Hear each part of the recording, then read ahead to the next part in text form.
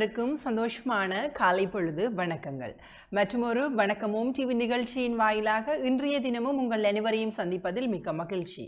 புலர்ந்திருக்கக்கூடிய இன்றைய காலை பொழுதானது உங்கள் அனைவருக்கும் நல்லதொரு பொழுதாகவும் நன்மைகள் பலவற்றை அள்ளித்தரக்கூடிய சிறப்பானதொரு நாளாகவும் அமைவதற்கு எல்லோருக்கும் பொதுவான இறைவனை பிரார்த்தித்துக் கொள்ளுகின்றோம். இன்றைய நாளிலும் கூட பல உறவுகள் பிறந்த நாட்கள் திருமண நாள் இவ்வாறான பல சுப காரியங்களில் ஈடுபட்டுக் கொள்ளுவீர்கள். அவ்வாறாக சுப காரியங்களில் ஈடுபடுகின்ற அத்தனை உறவுகளுக்குமே டான் குடும்பம் சார்பாக இனிமையான நல் வாழ்த்துக்களையும் தெரிவித்துக் கொள்கின்றோம். வளமையை போலவே எங்களுடைய வணக்கமும் டிவி நிகழ்ச்சியின் வாயிலாக இந்த காலை வேளையில் பல பகுதிகளை உங்களுக்காகவே தந்து வருகின்றோம். அந்த வகையில் வளமையை போலவே இன்றும் முதல் பகுதியாக இன்றைய நாள் தொடர்பான தகவல்களை பார்க்கலாம்.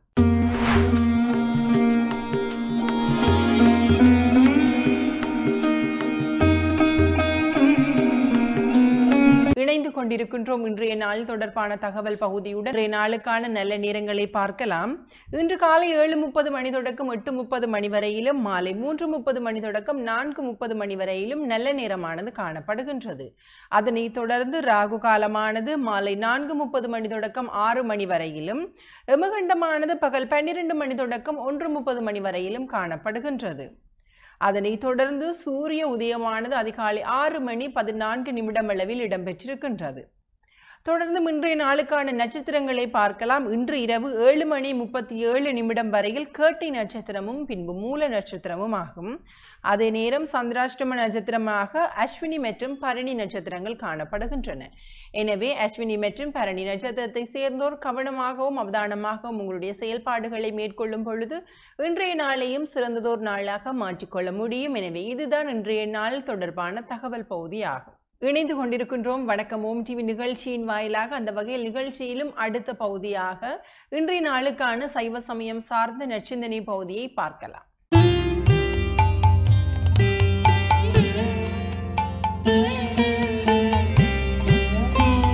ஓம்.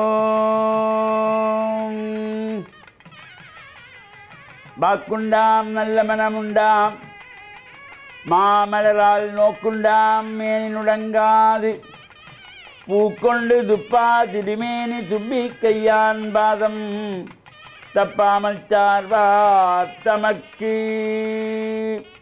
ஓம் நமச்சிவாய. மேன்மைகள் சைவ நீதி விளங்குக உலகமெல்லாம். நோயற்ற வாழ்வே குறைவற்ற செல்வம்.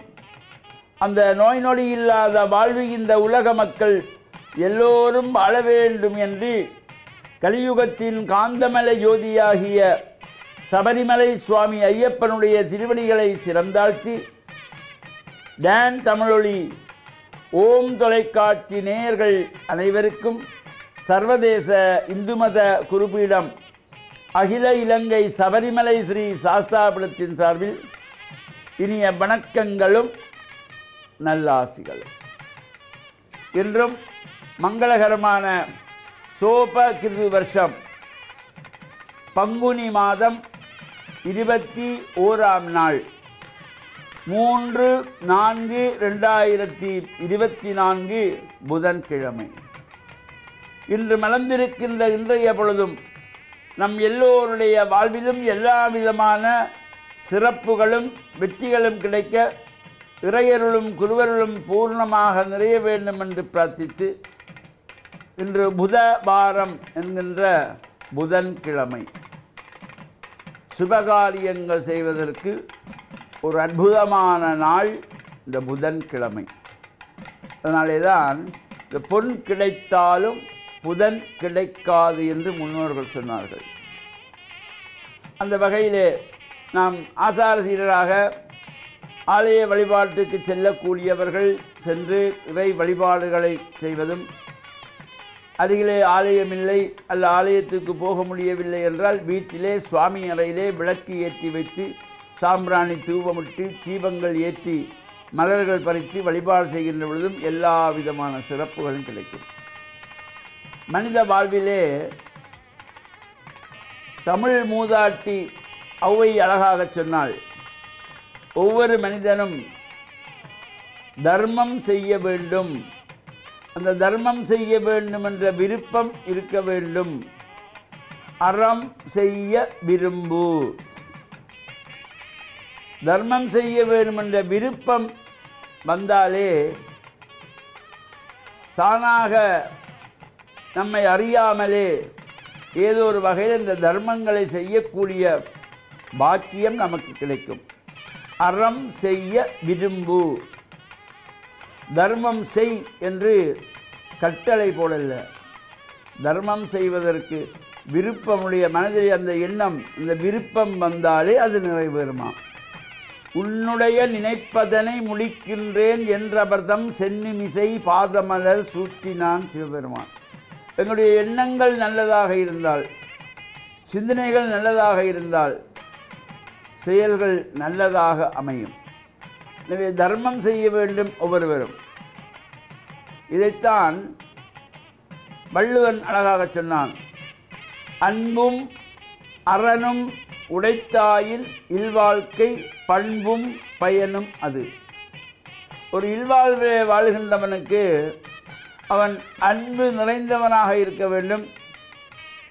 அறம் செய்கின்றவனாக இருக்க வேண்டும். அன்பும் அறனும் அறம் என்றால் தர்மம்.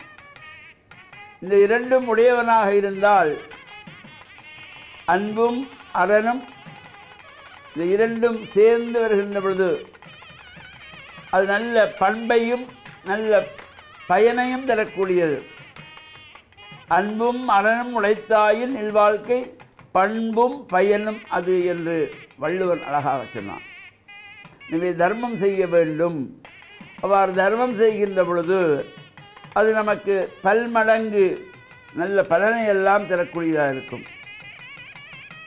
பொதுவாக இந்த ஆலய வழிபாடுகளுக்கு நாம் செல்லுகின்ற பொழுது நம்மால் முடிந்த திருப்பணிகளுக்கு உதவிகள் செய்ய வேண்டும் தொண்டுகள் செய்ய வேண்டும் ஆலயத்திலே சென்று கூட்டுதல் பெருக்குதல் போன்ற துப்புரவு செய்கின்ற சரீர தொண்டுகள் குடைப்பிடித்தல் தீவட்டி ஏந்துதல் மலர் மாலை கட்டி கொடுத்தல் இவ்வாறான தொண்டுகளையும் நாம் செய்கின்ற பொழுது அதுவும் ஒரு வகையிலே தர்மம் ஆகின்றது.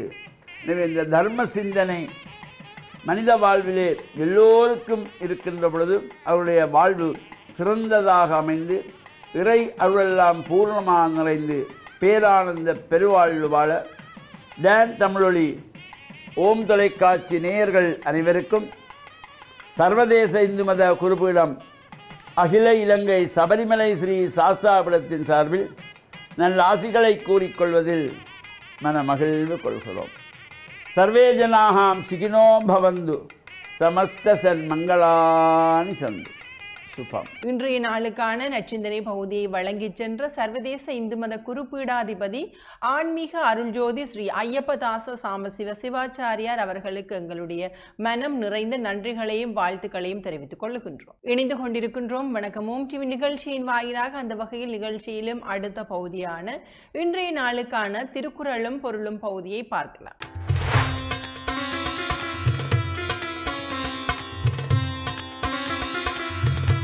இணைந்து கொண்டிருக்கின்றோம். திருக்குறளும் பொருளும் பகுதியின் வாயிலாக அந்த வகையில் இன்றைய நாளுக்கான திருக்குறளை பார்க்கலாம்.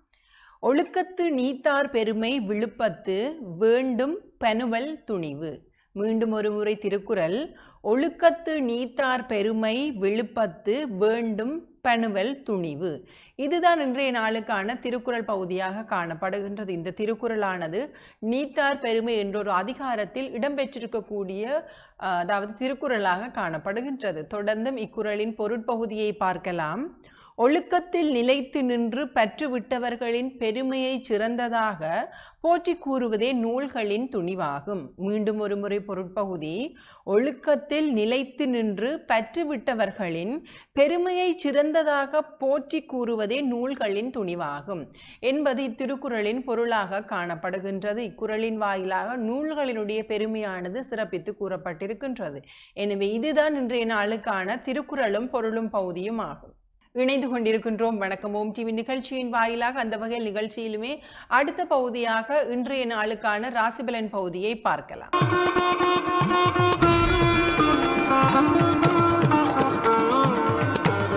இணைந்து கொண்டிருக்கின்றோம். இன்றைய நாள் ராசி பலன் பகுதியின் வாயிலாக அந்த வகையில் முதலில் மேச ராசியினருக்கு சுகம் நிறைந்ததோர் நாளாக இருக்கின்றது. ரிஷப ராசியினருக்கு நன்மையான நாளாக காணப்படுகின்றது. மிதுன ராசியினருக்கு முயற்சி செய்ய வேண்டிய நாளாக இருக்கின்றது. கடக ராசியினருக்கு பொறுமையான நாளாக காணப்படுகின்றது. அதனைத் தொடர்ந்து சிம்ம ராசியினருக்கு பணிவு நிறைந்ததோர் நாளாக இருக்கின்றது. கன்னி ராசியினருக்கு ஆர்வம் நிறைந்த நாளாக காணப்படுகின்றது. துலா ராசியினருக்கு அமைதியான நாளாக இருக்கின்றது. விருட்சிக ராசியினருக்கு உயர்வு நிறைந்ததொரு நாளாக காணப்படுகின்றது. தனுசு ராசியினருக்கு தெளிவான நாளாக இருக்கின்றது. மகர ராசியினருக்கு நலம் நிறைந்த நாளாக காணப்படுகின்றது. கும்ப ராசியினருக்கு பெரிவான நாளாக இருக்கின்றது. இறுதியில் மீன ராசியினருக்கு கழிப்பு நிறைந்தோர் நாளாக காணப்படுகின்றது. எனவே இவைதான் இன்றைய நாளில் பன்னிரண்டு ராசிகளுக்குமான பொது பலன்களாக அமைய பெற்றன. இன்றைய நாளுக்கான வணக்கம் ஓம் டிவி நிகழ்ச்சியானது இனிதே நிறைவு பெறுகின்றது. தொடர்ந்து ஓம் தொலைக்காட்சி நிகழ்ச்சிகளின் வாயிலாக இணைந்து கொள்ளுங்கள். மற்றும் ஒரு நிகழ்ச்சியில் உங்களை சந்திக்கும் முறையில் விடைபெற்று செல்லுகின்றேன். நன்றி. வணக்கம்.